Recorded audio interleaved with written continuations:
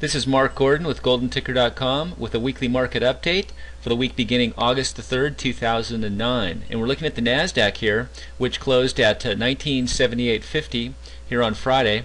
And the NASDAQ has had a great July. Um, it has rocketed about 283 points off the bottom here in early July at 1727 to a high on Thursday of almost 2010. That's about a 16% uh, run for the NASDAQ uh, this month, so very powerful.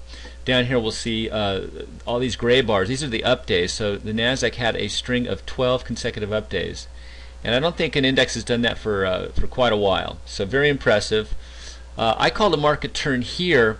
Uh, I drew this line of resistance here. When it crossed that line there, and the MACD down here, which is the moving average convergence divergence, it's a tool that I use, crossed as well. That gave us a buy signal, short term, and we've rocketed 8% uh, since then in about two weeks. So great session uh, for the NASDAQ.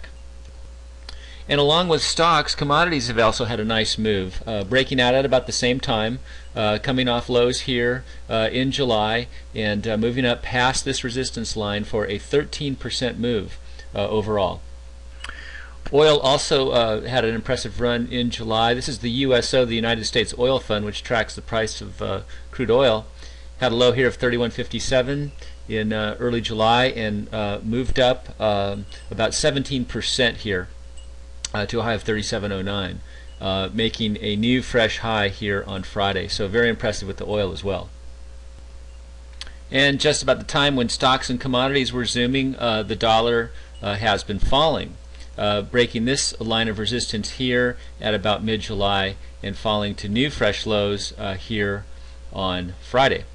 And the low here on Friday was uh, 78.22, which took out this low here we made in June of 78.33, making for uh, new lows for the year for the dollar.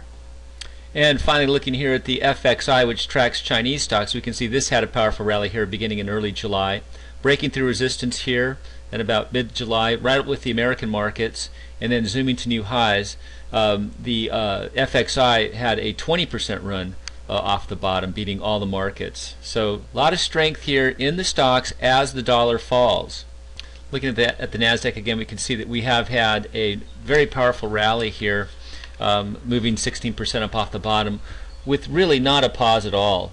Uh, so I would expect one, uh, though you never know. The signals uh, are not really uh, showing any um, any sign of a pause yet. Um, if we look at the MACD, we can still see that it's very strong.